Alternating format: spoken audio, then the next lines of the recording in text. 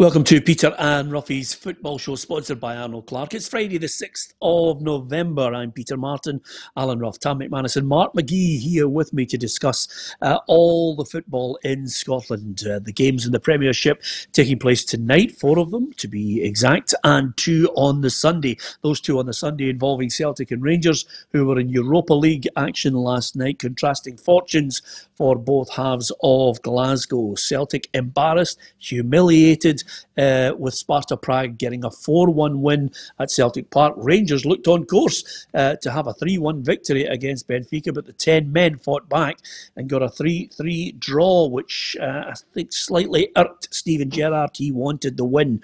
Give us your thoughts on the games. Give us your thoughts on all the football issues, anything that's bugging you about your club. And don't forget, like, share, and follow us on Facebook and hit the red button on the YouTube to subscribe to our channel. We'd love you to join the football family. Only one show in town. Last night I was there at Celtic Park. I might as well start the ball rolling we are in a season like no other. I mentioned that I thought it would get poison um, before we got to December.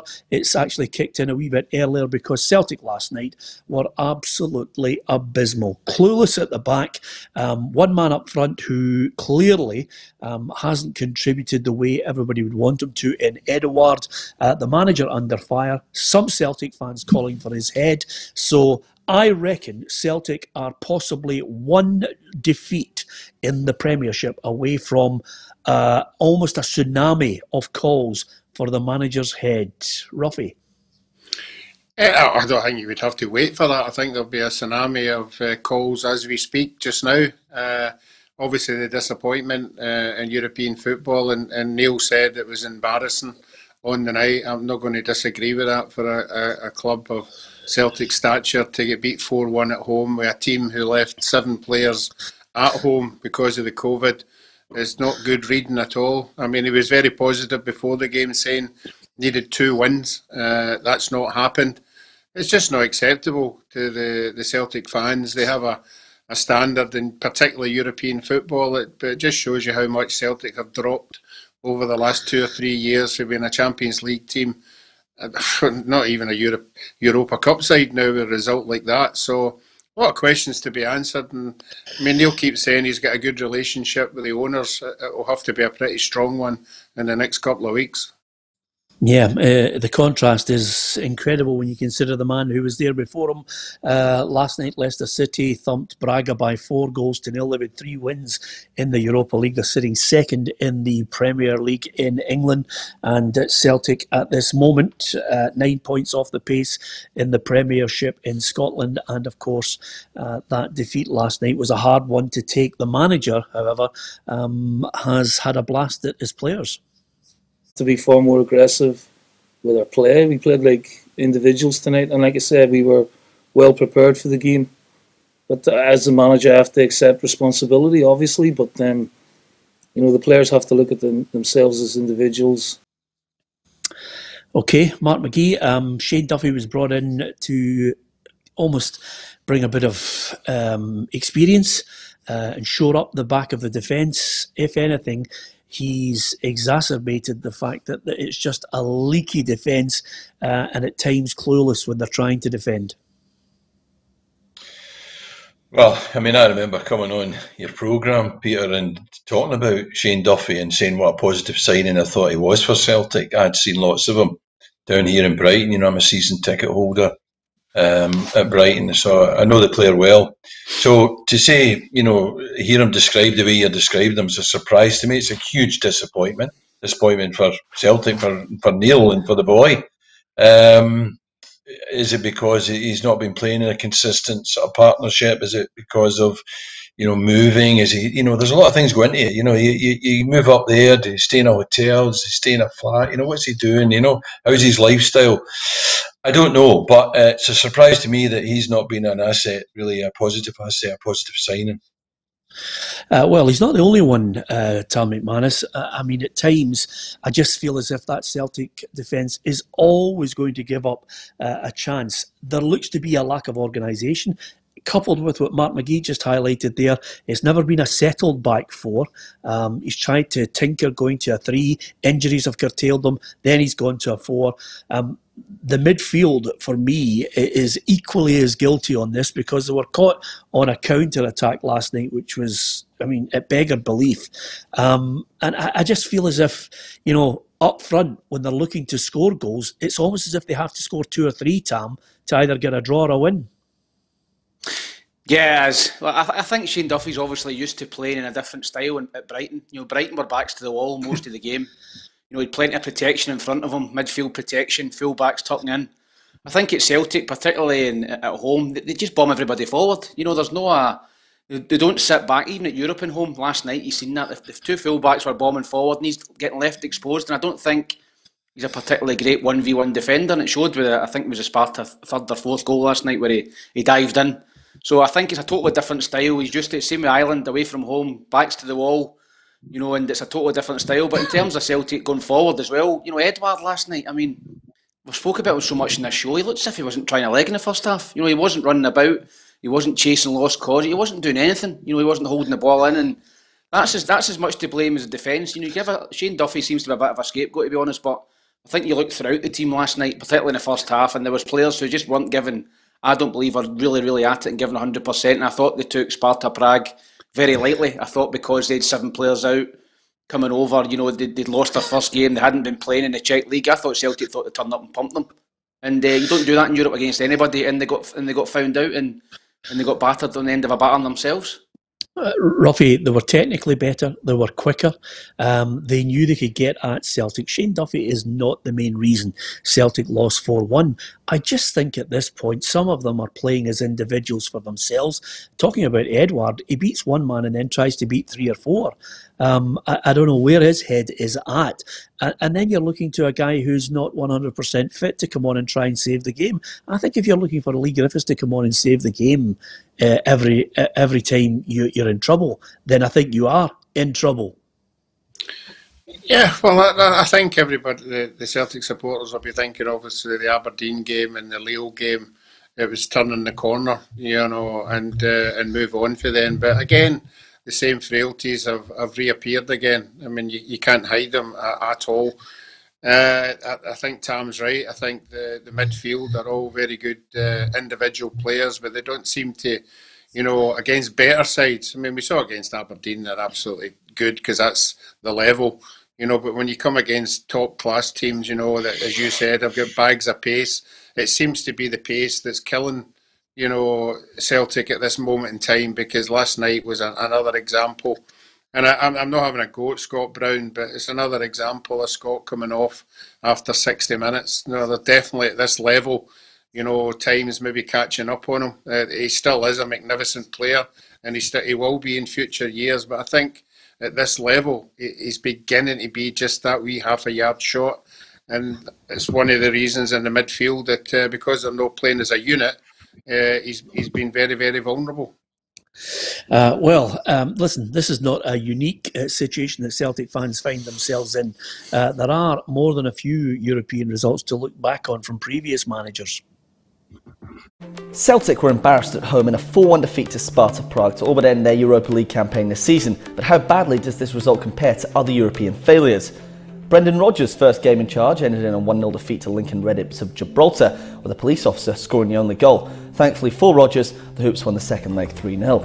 Ronny Deila's Celtic were heavy favourites to progress, having come back from Slovenia with a 1 1 draw, but they were stunned by Maribor, dropping into the Europa League. Despite success domestically, Deiler never really recovered from the result. This year's European campaign started in humiliating fashion as well, as a home draw in a one-leg tie could not be taken advantage of, as the Hoops succumbed 2-1 at home to Ferencvaros. The Hungarian side made the Champions League group stages. They faced Barcelona and Juventus so far. It was a similar story in 2019. CFR Cluj arrived in Glasgow with the score tied 1-1 from Romania, but after a frantic game, they left with a 3-4 win. The two sides then met in the Europa League group stage that year, where Cluj won 2-0 in Romania. And Gordon Strachan's first competitive game in charge after succeeding Martin O'Neill became, in his own words, out and out the worst football night I've ever had, as the Hoops were hammered 5 0 by Artmedia Bratislava. Celtic rallied in the second leg, but their 4 0 win at Parkhead was not enough. Yeah, there's been a few howlers in there and a few managers who actually still um, have uh, nightmares about some of those defeats. No, no wonder Mark McGee's laughing because his old his old chum Gordon Strachan still still winces Mark when he thinks about Artmedia. Actually, one of the funny stories Gordon tells is about the morning after that, and he took Leslie to the Marks and Spencers in Hamilton there, and he dropped her at the door, and he went and parked the car. And as he's walking back towards Marks and Spencers, this guy starts haranguing him, you know, Strachan, you're absolutely rubbish. Strachan, you're the worst manager. He says, and just as he goes in the door of Marks and Spencers, the guy shouts, and by the way, I'm a Rangers supporter. and and Mark, you'll never know how accurately that's that that is summing up our, our feed on the, the football show on Facebook because the amount of people who've all got an opinion on it, um, it's yeah. it's reaching fever pitch. I can tell you right now because um, Michael Climby says, as a Rangers fan, I'm delighted with Celtic's back line. It's absolutely dire. Uh, Neil Lennon was greeting about not having his best players available a few weeks ago. He now has his best team available, and they're still getting pumped. Um, I, I understand where Michael's coming from there. The point here, Roughie, is I'm not sure he's, he doesn't have his best team available. He doesn't have what he would consider a back line to play his back three. I still don't think his back three are good enough anyway. Um, but nevertheless, there are a few other characters in there who are quite simply picking up wages uh, under false pretenses, Roughie. And you know that there's you know, Tam used a great uh, little expression a couple of weeks ago when he said, "Teams can smell blood." and they know this is a this is a weakened Celtic side, and, and they're hovering around them and looking. It's like death by a thousand cuts, Roughie. We've already got the bookies saying Eddie Howe is one of the front runners to replace him. I, I can't see it, but that's what happens when you know a manager's under pressure. Yeah, and we all know what this season means to the, the Celtic supporters. Uh, I'm sure if they go the weekend and beat Motherwell, you know, Europe will be forgotten about and concentrating on the big one as far as a lot of them are concerned. But no, I think Neil hit it in the head. Uh, so about a month ago when he came out in a press conference and said, "Look, there's some people here don't want to be here," you know, and and that is that is noticeable when you're training with guys Monday to Friday he'll certainly know the guys uh, who aren't given the 100% or they should be given the 100%. So that's why he's not got a settled team. You know, I don't think he actually knows exactly the ones that want to fight the cause and the ones who don't. And I don't think he knows his best 11. So until he gets that sorted out, I think there, there is trouble in the camp. There's no doubt about that. It'd be interesting to be in the dressing room after the game last night to see what the kind of the vocal things that were going on in there because there'll be a lot of finger pointing uh, and it was just a poor, poor result. But the only way to turn that round is to go out against Motherwell uh, and beat them. And you know, if they don't beat Motherwell, it's going to be worse than Monday. Yeah, and the manager himself knows this is a big weekend where they have to bounce back. It's important to win the game because you know we've got a bit of catching up to do in the league, and we have to, you know, find a level of consistency. Again, you know, we've got a two-week break, but we've only ourselves to blame for putting ourselves under pressure you know, with performances like that, um, you're going to get criticised, and this time I think it'll be justified. Jim Johnson says Celtic fans are feeling the pressure. Free spirit Stevie says uh, they didn't want Strachan. They said he wasn't a Celtic man, and I thought Strachan was good. Uh, Karen Quinn says absolutely shocking display and a shocking result last night. And Brian McNair, I think, sums up many people's perception of this one, which is Sparta reserves four, Celtic one. So you, you can see the way it's going. Um, I have to say the reason why sometimes I absolutely um, Andrew Docherty. The reason why I love it is because there's a mix here of Celtic fans who are angry, and of course Rangers fans who are up the absolute noise up, which is uh, why you love the West of Scotland times. And then of course there are the great unhinged, and I won't be reading them out. Although Andrew Docherty says Peter still greeting for Celtic, still desperately finding excuses as to why uh, uh, as to why they're poor. Um, he uses another expletive, but Andrew, your head's in the clouds, son. What we're doing is analysing what we witnessed last night. Um, and quite simply, Tam, I think they're one game away from, I think, the board seriously looking and saying, you know, it's not working. And I, I, and that's whether he even, as he battles away at the moment, trying, he's been over the course before. But I think this board will look at it and think, in this mother of all seasons, they might bow to the pressure. Yeah, listen, I, think you, mentioned it earlier. I, I, don't think the Celtic supporters are too fussed about the Europa League. Listen, Celtic are never going to win the Europa League, no chance. So the main thing for Celtic and their supporters this season is, is winning 10 in a row. So I think they would stomach getting beat in the Europa League. Not last night where they get humiliated, but I think they could stomach getting beat. You know, close games, getting beat, whatever. But I think that in, in terms of the weekend, they won't stomach drop many points to Motherwell. And I agree with you. I think if Celtic drop anything, I think if they drop another two points, even draw the game, or God forbid for them get beat, then I, I, think there's going to be serious questions asked of Neil Lennon because you've, you've got a situation where the board are going to be thinking, do we give Neil Lennon the rest of the season no matter what? You know, just give him it. You know, he, he's earned it. Give him it, and don't. Or else we're going to be looking at alternatives to replace him, Peter. And you mentioned a couple there, Eddie Howe and, and guys down south. You know, there's there's hundreds of managers, good managers out of job who would jump at the chance to come in and, and, and try and secure Celtic uh, 10 in a row. They'd be legends. I, I understand there'd be pressure, but I think if Celtic are thinking about changing the manager, they have to do it now.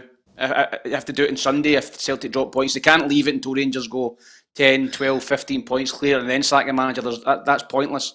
They've got to do it now uh, when they've still got a chance. Interesting. Um, and of course, Mark, the other thing about it is, uh, you know, he's still in a job. He's still got a job to do. He, still has a good win percentage, but um, in this season, there is there is no room for error. And, and and I look and when I hear the name Eddie Howe, I think we're now going to the, to the ridiculous, bringing in someone who absolutely doesn't know uh, the game. It's taken Steven Gerrard two two years just to build the team the way he wants to, and I think it needs somebody. If they were to steer the ship, um, if Neil Lennon was to uh, depart uh, the manager's chair, it would need to be somebody who knows what, what the hell goes on in this mad country. You know, I think one of the things that I would do is I get you, you give credit to Peter Lawwell and uh, and Dermot Desmond in sense of uh, they're not people who you know make rash decisions. They're not people that you know make knee jerk decisions. Um, so I think what they'll be doing is they'll be looking at the evidence. Why is it like this at the moment? Um, is it because of uh, Neil's management uh, style? Is it because of the recruitment? Um, what, what, what, what is the reason it's looking the way it's looking? They'll also then have to look at what the reality of what they have is. Now, let's say they bring in uh, Pochettino. Now, it could well be that uh, the squad that, that, that remains there, that is there, that Pochettino or Jose Mourinho or Pep Guardiola or all the, the, the, the rated managers in the world couldn't do anything with that. You know, so Peter and uh, uh, Dermot Desmond have got to be looking at it and saying, right, where, where are we actually at with this? And what they have to do then is have a plan that gets the best out of what they have at the moment and gets the best results they can get at the moment. And that may still be Neil Lennon. You know, he knows them better than anybody. Of course, if it's not Neil Lennon, then yeah, you've got to look at it and say, well, we need somebody that understands uh, the, the, the Scottish situation, the situation with Rangers and the 10 in a row and all that. But more than anything, we have to have somebody, they have to have somebody that can get the best out of those players. Now, that may be Eddie Howe. You know, Eddie Howe's got a fantastic record and working with not very much. So I think that uh, we shouldn't uh, rule any anything out in terms of alternatives. But I think you also shouldn't rule out the idea that the best man for the job is still Neil Lennon. Yeah, um, with that in mind, um, um, thanks to everyone for uh, giving us their tuppence worth on uh, the situation. Celtic fans, non-Celtic fans, everything. It's the hot topic of conversation, uh, especially after last night's result and, and sitting in the stand watching it. Uh, again, it's not as if it was something rare. Um, I looked at it and I just saw the same old problems uh, resurfacing, and not just about Shane Duffy, other people um, that are not pulling their weight, and they look disjointed, and at the back they always look as if they're going to give away a goal. So, um, can Motherwell uh, cause an upset at the weekend? Uh, Motherwell fans will certainly be uh, buoyant. And uh, you, listen, uh, you're wearing a Barcelona top, uh, Tam McManus, having watched um, Tony Watt in the last game where they dismantled Ross County. You wouldn't rule out an old Celtic player coming back at the ripe old age of what 26 and causing havoc at Fir Park against them. Yeah, listen. Obviously, Tony's been he's made his career, he's made his name out of scoring that, that fantastic goal against Barcelona. And then Tony's a player we've spoke about many times in the show. You know, he's got, he's got an age now where he's got to be playing regular. He's got to get his head down and uh, and put performances in week after week. And uh, I'm sure that if he plays the way, you know, I've seen the highlights of the game. Um, I'm sure if he plays the same way he played against Livingston, then he'll cause he caused Celtic a lot of problems um, at the other end. But I think that in terms of Celtic, they've they've got to win the game. Celtic's got to win the game. You know, there's no, there's no. I don't think there's any hiding place now. There's no room to drop any more points. You know, Rangers play Hamilton the same day at home. You would think they would beat them, so the gap was going to grow, and then you've obviously games in hand. I think that Celtic need to win the game, and uh, they'll be looking at more than Tony Watt. They'll just be looking at themselves and uh, and trying to get three points to take the pressure off the manager. Yeah, and because Mark has been on the programme uh, more often than not on a regular basis, Roughie, I feel now is the time. I've been easing him in and trying to give him that kind of a feeling of enjoying the show and just be nice. But I feel now is the time to just uh, unleash the madness when he opens his mouth of the messages on Facebook. And Joe Joe Finley says, "Rubbish, Mark McGee, rubbish." Lennon Lennon has shown throughout this season he's not the man for the job. He's ripped the heart and identity out of Rodgers' team from a couple of years ago. So uh, there you there you are. That's uh, it. Just shows you exactly the way. That's quite tame. Oh, well, absolutely. No, there'll be a few others that will come in there, but uh, um, that's just that's just for starters. Anyway, in contrast mm-hmm. to that, um, uh, after um, ahead of uh, Celtic kicking off against Sparta Prague, you know, in the press box, we're sitting there um, watching Rangers take on Benfica. It didn't start well, um, but nevertheless, um, they uh, actually produced, for me, even a 3 3 draw, although they could have won it, Roughie. I think 3 3 against Benfica is a great result. Oh, it's a fantastic result at the end of the day. You, you look at the, the, the three each, and you'd have taken any, any kind of draw before the game obviously the sending off turned it a wee bit. All credit to them, you know, that uh, 3 uh, 1, you know, but I think the disappointment will be in the dressing room that it wasn't a win. Uh, and we'd all been talking about how tight they were and how they weren't conceding goals. Uh, it just shows you it doesn't matter you know what team you are if you, if you don't concentrate at any level you're going to lose goals and I think that'll be the really really disappointing thing of the whole night was losing these two late goals to 10 men uh, when they should have been able to, to see out the game and, and take the three points, and that's them qualified. Well, that is the frustrating part for Rangers manager Steven Gerrard. We were in a fantastic position. That goes without saying.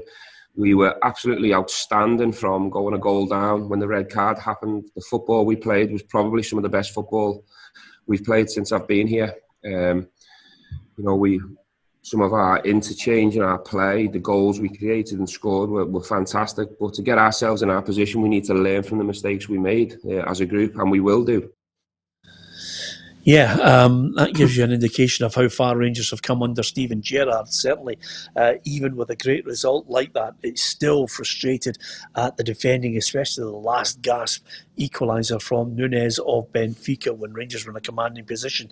Positive again for Alfredo Morelos. Um, if you to look back since he's signed for Rangers, it's been unbelievable this roller coaster for the boy. But he, he holds Rangers' European goal scoring record now, um, one ahead of Ali McCoist. It's been incredible uh, when you look back at what he's achieved. Fredo Morelos scored his 22nd Europa League goal last night to become Rangers' all-time top European goalscorer, surpassing the record set by club legend Ali McCoist. It took the Colombian just 37 games, so let's have a look at how he did it. Morelos opened his account with a header against Croatian side Osijek in the second round of qualifying back in summer 2018. He grabbed three more that campaign, including an impressive brace against Rapid Vienna in the groups. His most prolific season was the 1921, where he scored a massive 14 goals. Starting in July, he scored his only European hat-trick against St Joseph's of Gibraltar before a last-minute winner in the playoff final against Legia Warsaw. In the group stages, he scored home and away to both Porto and Young Boys before stunning Feyenoord with a double in the Netherlands. He started this campaign in the same vein with four goals against Lincoln Red Imps, Lech Poznan and now Benfica. With the Gers set to make the knockouts and rumours surrounding his future silenced for the moment, the question is, how many more can Morelos get? Well, let's have a look at that table to see, Roughie, where Rangers are in that Europa League with Morelos scoring goals um, in the campaign and everybody else chipping in. It's a good position, Roughie, for them to be in. And I think, uh, is it safe to say that one more win will get them there? Yeah, I think they'll look at the team at the bottom of the group uh, at home. You know, they think they'll be able to take care of them. I would think another point at home against Benfica when they come uh, would certainly be enough. I think we saw enough in the two teams at the bottom, uh, the quality that they have, and you would think Rangers, the way they're playing in Europe, would, would be enough. No, I, I would say Rangers are a given uh, to be in the, the last 32. Yeah, here's uh, the results involving British teams last night in the Europa League. Uh, just confirmation of the two Scottish sides and their exploits.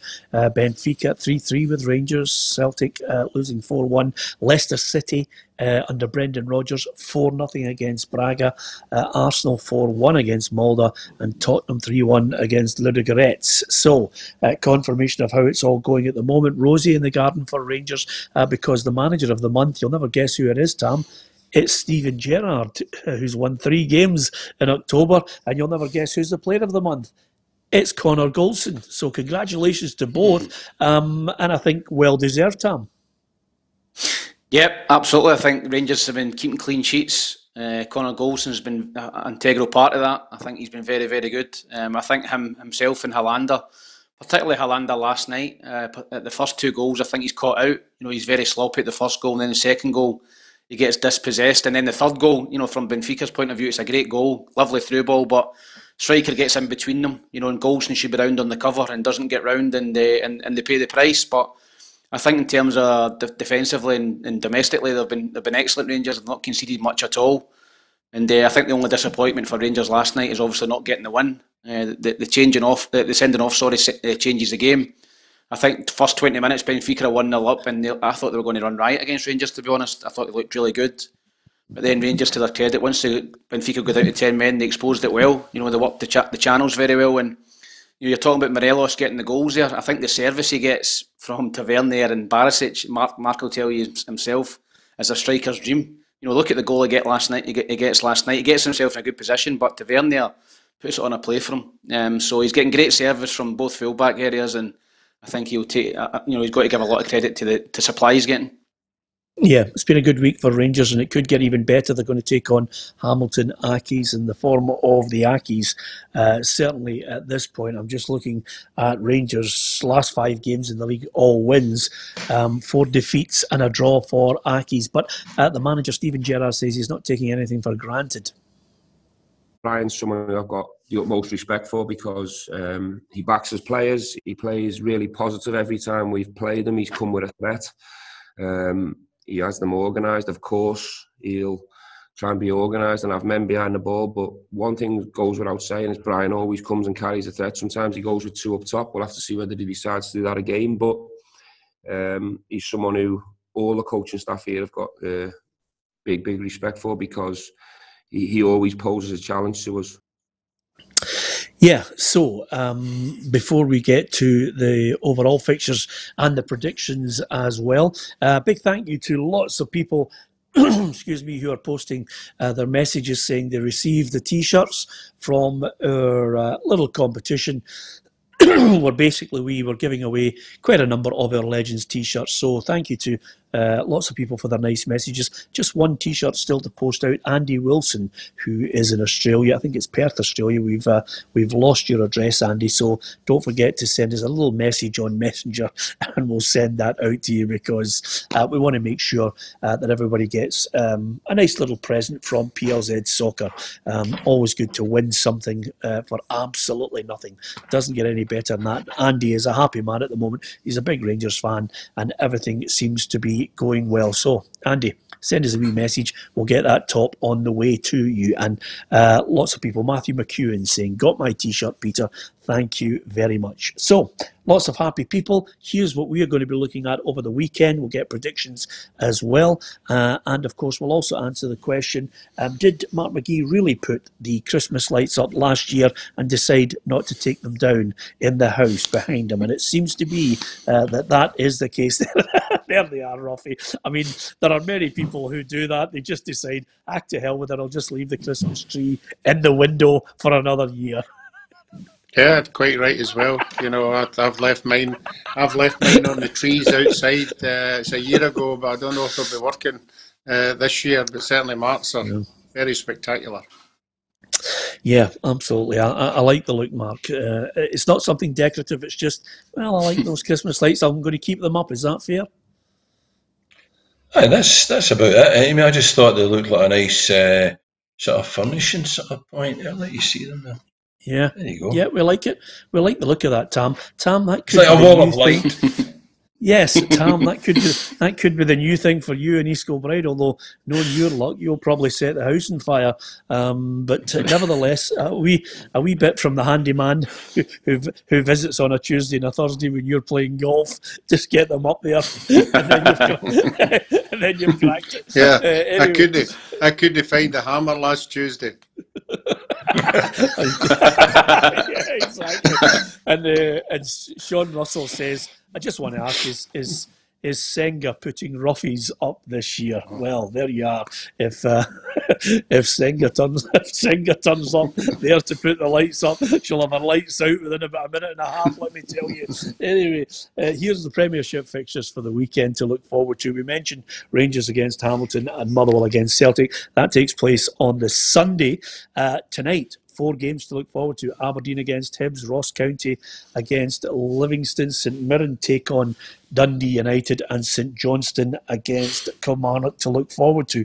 And I mean, it's a fantastic game, Tam. I know you'll be travelling through to Easter Road because the money's running out at Hibs TV, Mark. But they're not even sending him up to Aberdeen. He's just got to commentate from the studio in Edinburgh, Mark. That's when you know the money's tight. David Turner's that expensive, I think it is. yes, exactly. He's he's taking all the wedge. I don't know about you, um, Tam, but uh, you know, regardless of where you are, this one's a cracker because Hibs, uh, I'm looking unbeaten in five in the league. Um, in fact, one defeat in the league out of the last five. Uh, and Aberdeen, you know, you're looking at them, you're saying to yourself, three wins, two draws in the last five. It's got the makings of a real good battle for third, or as some have suggested, second. Yeah, the listen, I think it'll be a great game. You know, I'm looking forward to, to, to, to, commentating on it. I think that, that Hibs need to get back on track. Listen, it was a bit of bitter disappointment last weekend, you know, losing the Derby game. I'm sure that the players will be fired up to go up there and get three points and get the fans back on side because it hurt a lot of people, you know, losing, you know, always losing a Derby game um, and hurts. So they go up there, you know, they can go, you know, clear of Aberdeen in third place and really push up the league. So um, Hibs have been great form away from home. I think they've only lost one game. That was at Celtic, and apart from that, they've won, they've won every game away from home. So they've been they've been very very steady away from Easter Road. And Aberdeen are playing well as you've seen. So I'm going to go for a one-one draw, Peter. Um, I'd like to see Hibs going and win in the game, um, but I think a point up there wouldn't be a bad result. So I'm going to go for one-one. Well, interestingly enough, Jack Ross says, uh, you know, winning up there and getting uh, the huge incentive of going into second is uh, and that's the incentive enough for the players.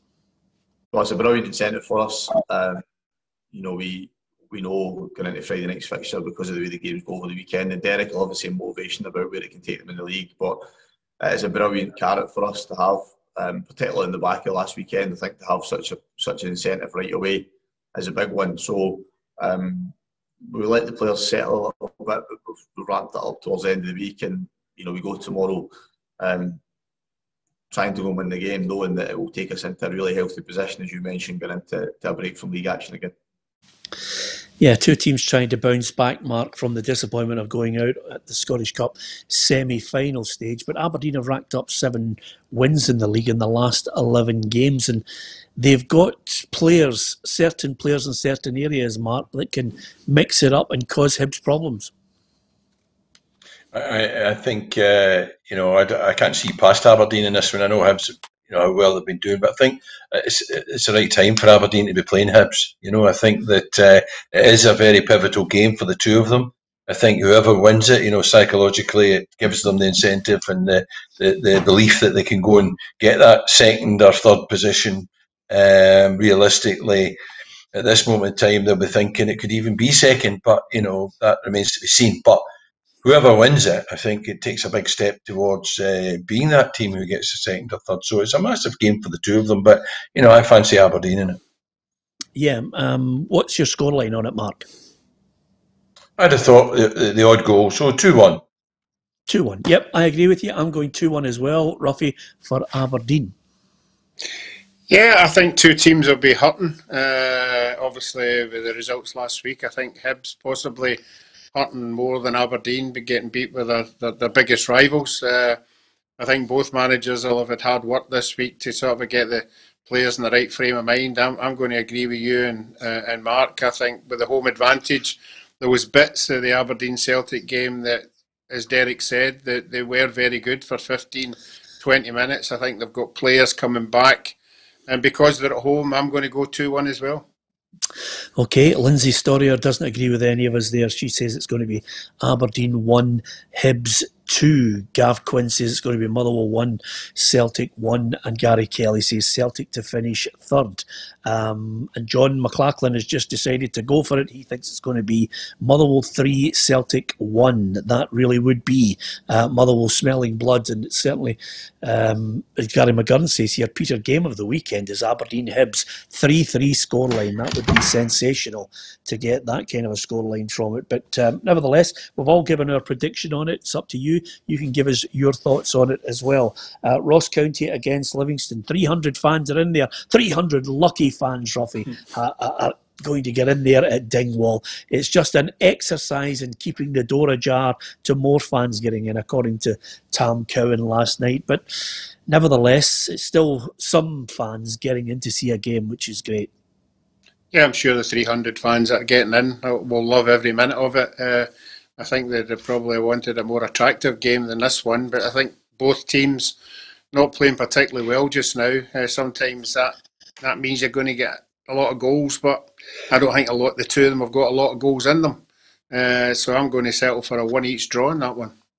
Yeah. Um, uh, the other thing is Michael Climey says, can you can you remind us of the points system that operates between yourself, Roughie, and Tam? Of course, if you predict the exact score, you get five points. If you predict uh, the correct team to win, you get two points. It's as simple as that. Uh, and everything. What if it's after extra time? it's after if it's after extra time, then you still get the correct score on it. Oh um, my word, it, Roughie! And the other, and he's the just well, cheating. Listen, I've tried. I've tried all week, but I've, I've gave up now. I've gave up. listen, listen, listen, Mark. When you ask, when you ask, are you a Democrat by any chance? exactly, exactly, Mark. When you ask, and I'm, I'm going to give it the Joe Biden here, but when you ask for a prediction, your prediction is based on a game, whether it's 90 or 120 minutes or penalties surely a prediction is a prediction on who's going to win an event that involves two people coming together. Well, I, what I'd say is, it, it, just like the American election, it's it, the, it's what the rules are. So the rules are yes. set out before you start, and if the rules say that it goes to extra time, then it goes to extra time. But if the rules say yeah. it's ninety minutes, then it's ninety minutes. So what were the rules? Yeah. Um, un- unfortunately, due to the SPFL, there was no rules put in place. Well, ah, the Donald, that's the Donald Trump model. yeah. Can, yes. Can I just say to you, Mark, that at the start of the season, we all looked at it and we thought, predictor, let's agree on what the rules are on this. But then suddenly, Mark, out of the blue, came a WhatsApp group and in that WhatsApp group, all sorts of skullduggery took place. So um, now we're in a situation where if there is a point between me and Roughie and a couple of points ahead it's Tam, we will then start to include Accrington Stanley against Northwich Victoria, uh, and we'll be exactly. We'll be, we'll be firing in every league so we can reel them in. Uh, and of course, Ronnie Chapman's come up with an absolute cracker. He says, um, of course, Trump is just waiting on the Dundee vote, and I think the Dundee vote just sums up the last the last six months of the madness, Ronnie, that we've had. So it's a nice touch. Um, um, I think Ross County are going to win this one two one. Roughie, what have you gone for? Uh, I've gone for one each. Mark McGhee. Uh, I think with the 300 fans in and that, and, uh, and, and and I've been at a game, remember, with fans in it. I was at, I was at uh, Brighton with 1,500 fans. Uh, I think it'll be a, a, a, bit more of an occasion, and I think Ross County will win more comfortable. And I think I'm saying about three nothing. Yeah, um, Tam, what about yourself? Uh, I think the 300 fans will really, really lift Livingston, so I'm going to go for Livingston 2 1. Yep, 2 1. Okay. Um, uh, quite a few people um, are joining us on YouTube as well. Thank you very much to all the people who are on YouTube too. Uh, I know some people think there's not a live feed on YouTube. Yep, there is indeed um, a live feed as well. So you can join us on Facebook and YouTube and Twitter as well. Uh, keeps you right up to date um, with uh, the football show. Now, um, St Johnstone against Kilmarnock, um, well, it's not the most appealing, I think, uh, if I'm going to be perfectly honest with you on this one, because as I, I look at the form of St Johnstone, uh, three defeats, a draw, and one win in the last five. Um, Killie slightly better, three wins out of the last five games. Two defeats. Here's what um, Alex Dyer has to say about this game and their overall priority.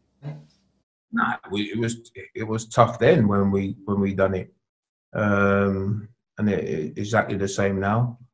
You know, we still had to compete with, with good teams at that time. So um, no, no, it still be difficult, but you know, our first, like I always say, I don't know, it might be a bit boring. Our first thing is to make sure we stay in this division and then work from there. So once we get enough enough points, then we look forward to seeing where the season ends it's that age old question that always uh, comes about with managers. Mark, you've been at more than a few press conferences when you you put together a couple of results, and we all say, "What's your ambition? Is it third? Is it second? Is it top half of the league?" Yeah, I, I think that managers will always try and you know play it down in a sense of the, and certainly if they've got any sense to do, um, because I think you can get ahead of yourself, but you know they can enjoy good form at the same time, and they can uh, they can take a little bit more uh, confidence going into any game. And I think three out of five is decent return. Yeah, yeah, I like uh, I like uh, watching Killie. I think they've got um, you know players with a wee bit of experience, Tam, uh, mixture of youth in there. I like um, Chris Burke, uh, and I think Dicker puts himself about as well. Yeah, Kamala, a very very difficult team to beat. Yeah, particularly obviously at home on the plastic. Uh, a difficult game, but I'm going away to St Johnstone. I, don't think there'll be many goals in this game. You know, I think St Johnstone have been pretty tight as well, and Kilmarnock. You know, Kilmarnock I felt against Rangers last week gave them a little bit too much respect, and you've seen in the last 20 25 minutes uh, when they went a little bit more positive and a little, bit more direct. Kilmarnock they could have got something out of the game, so that'll be disappointing from from last weekend. But th- this weekend, I think that I can't separate the teams. I'm going to go for I'm going to go for a one each draw. Yeah, I've gone 1 1. Roughie?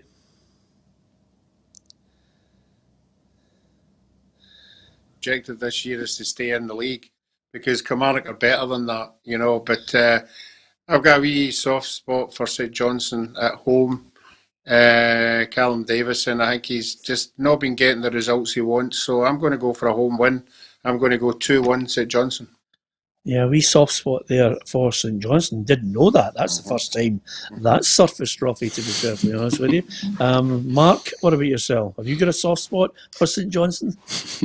I, I, do actually, because uh, yeah. you know Callum's a Callum's a pal, and uh, I always want him to do well. Um, however, I think that uh, you know their form's not great, their return's not great, um, but I still think uh, on Saturday at home uh, sorry, t- uh, tonight at home it'll be difficult for Kilmarnock, but I think there'll be goals. You know, I disagree with Tom. I think there'll be goals, and I think it'll be maybe a high scoring uh, score draw two each or three each. Yeah, that's fantastic, Mark. I actually thought for a minute there you were going to give us what I call the classic Roughie. You know, Callum's a big pal. It's absolutely fantastic. I, I want him to do well, but I think he'll get pumped 3 0. Um, but you didn't. you, decided, you, decided, you decided to go middle ground. Uh, Ian Noble uh, is a big Aberdeen fan. Always great to hear Ian contribute to the programme. And he says Mark McGhee scored 27 goals one season for Aberdeen what a top player back in the day.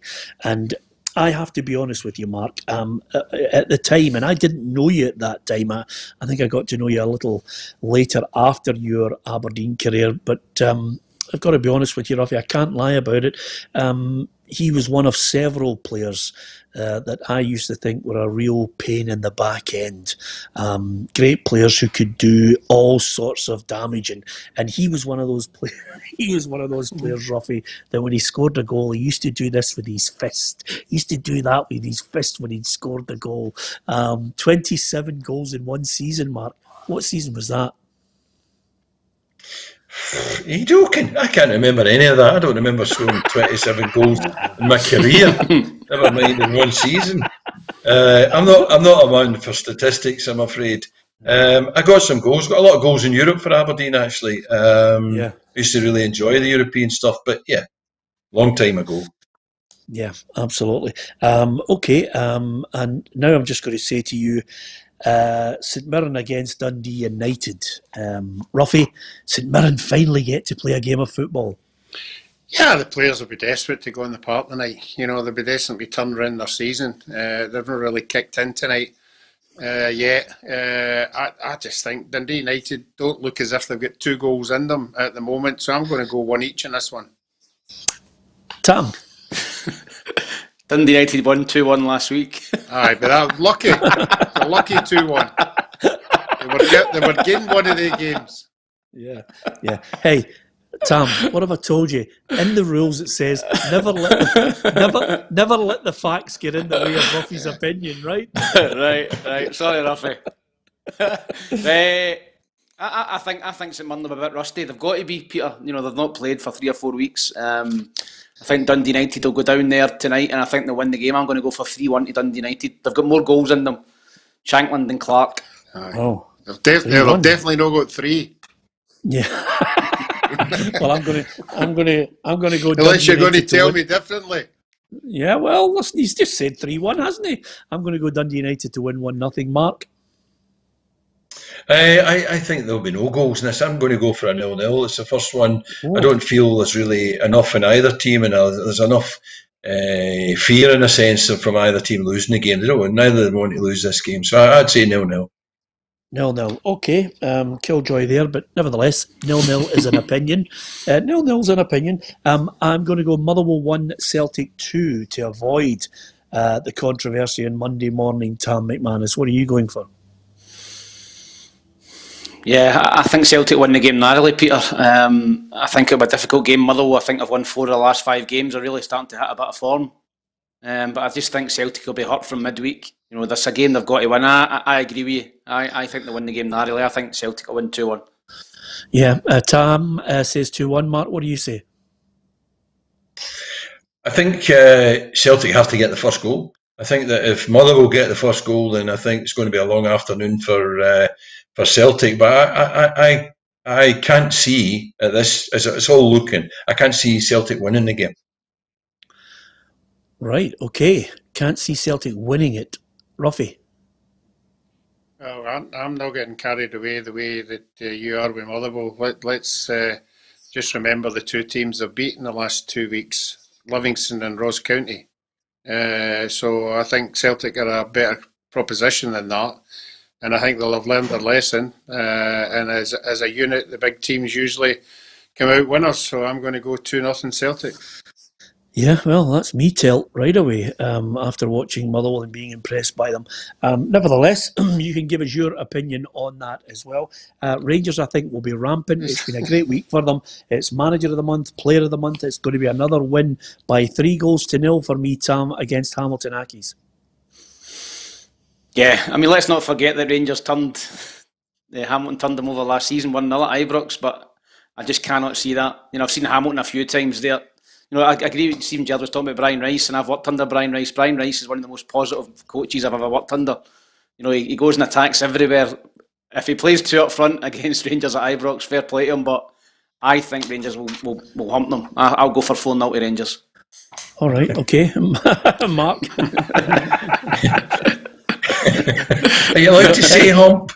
Well, you don't get. hey, hey, you, you, don't get that on match of the. You don't get that on match of the day, do you? look, look, look at that. There's nobody watching. Uh, like, um, I think Rangers. Uh, you, you, you would you would say that you know coming back from Europe there can be an effect to that, you know. But they, they, I think they've got enough options, you know, to maybe make a couple of changes and yeah, to win the game comfortably. I, do, I mean, I'm not going to insult uh, you know Brian and his team by saying Rangers are going to go win there five or six. I don't think that's impossible, but I think they'll win two nothing. Yeah, Roughie. Yeah, I think Rangers have got enough uh, in reserve. We saw the players that have come off the bench have usually come up trumps. Uh, I think Hamilton have got far too many injuries. Templeton's out, big big player for them. Uh, I think they'll get beat three nothing as well. Yeah, okay. Um, Sean, who uh, actually regularly contributes to the programme, Roughie, is basically a Falkirk fan. Uh, and of course, Falkirk are taking on your team, Partick Thistle. Are you one of the, the representatives allowed to go to the game? Yes, I'll be there. Yep. Uh, unfortunately, oh, yeah. you can't get into ten minutes before the game uh, for obvious reasons. But uh, yeah, I'm expecting a, a, yeah. a, a good game. Uh, no, no hospitality for Roughie. Uh, half time pie, half time pie and soup. Yeah. All right. As long as you stay in your seat and don't move about, you know, and stick to the, the regulations, that that'd be okay. Right. Fantastic. So basically, you're not allowed in uh, until ten minutes before the game starts. Correct, yes. Right, okay. Fantastic it, stuff. It, it, sounds, sounds like a game it may be better to get in 10 minutes after it finishes. Yeah, well, well to be honest be with you, this would be a good oh, game tomorrow. Yeah, yeah. Uh, Thistle will no doubt pump them and get beat for nothing. Well, listen. No, well, I can't continue. I can't continue to come on every Monday and say we were impressive if we're not picking up points. So let's hope. let's hope I can come on on Monday and say we were impressive with the three points. Right. Yeah. Can I can I just ask? Can I just ask ask Tom? What, what's the difference between hump and pump? a, a, hum, a humping's a a humping's a, a right down. Four nothing. A pumping's just a pumping's maybe just a three nothing. right. Okay. okay. Been, uh, that's uh, there. You that's Roughie. He'll know. Aye, exactly. Uh, well. Uh, to be perfect, don't ask me. you don't want to ask me.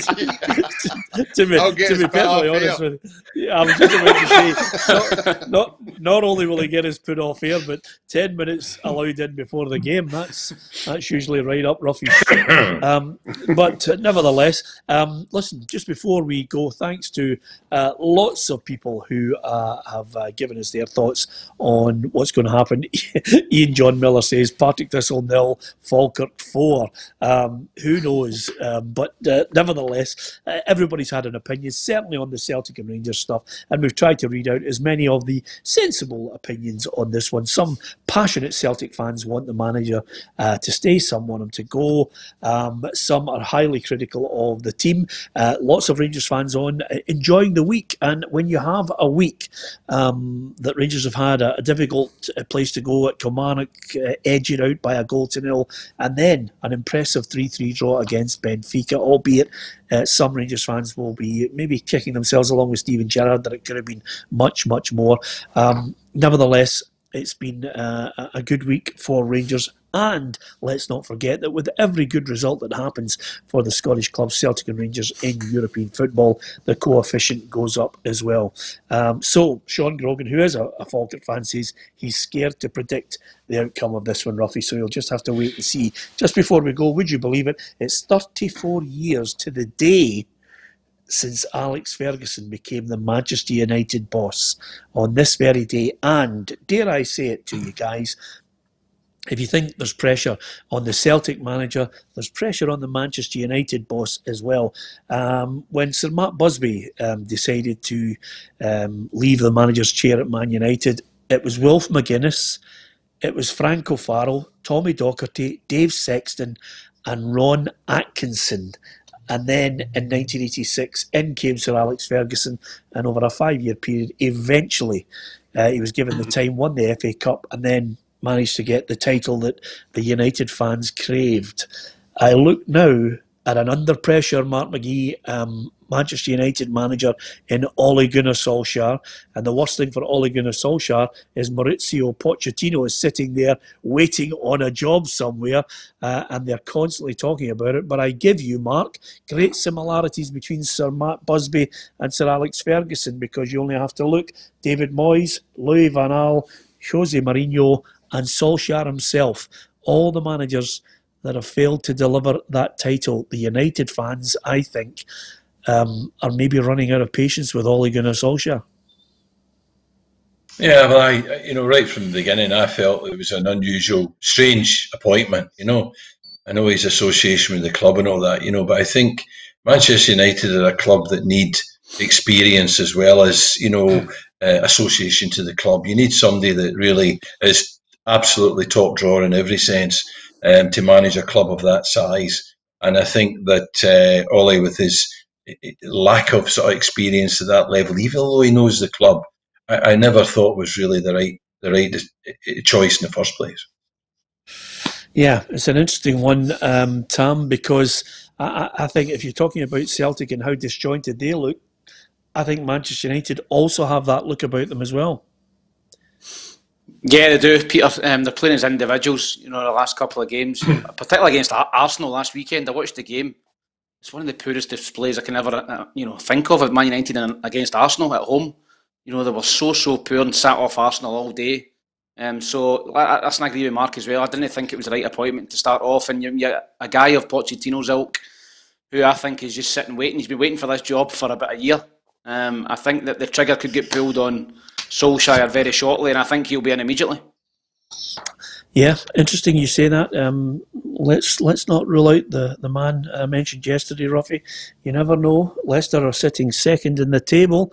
Uh, they might go for Brendan. He could come out with the classic line. I've been a Man United supporter since I was a boy. I mean, these things ha- these things tend to happen when since since since I was a fetus. Yes. Mm-hmm. Mark, it's the classic line, isn't it? Walk in and just say, "Oh, I loved. I've always loved Manchester United. I've always loved Celtic. I've been a big Rangers fan since I was a boy." And it's all these, it's all these one-liners just to get the fans on board. But whether that happens or not, only time will tell. Um, managers under pressure. We started with one under pressure in Neil Lennon. We end with one in Ole Gunnar Solskjaer. Will they still be in the job over the weekend? Never mind to the end of the season. Um, that's what it's all about. It's about success here in Scotland. Second is nowhere, and if uh, Celtic have any more slip-ups, uh, there'll be a clamour for the manager's head. And certainly, reading some of the points on here, um, it's reaching fever pitch.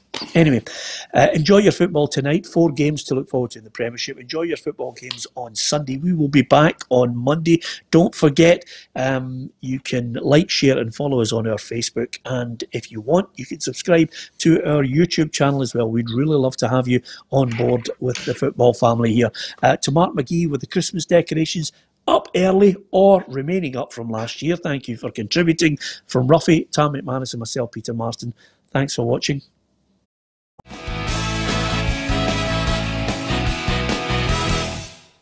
Expect the best used car deals guaranteed. Visit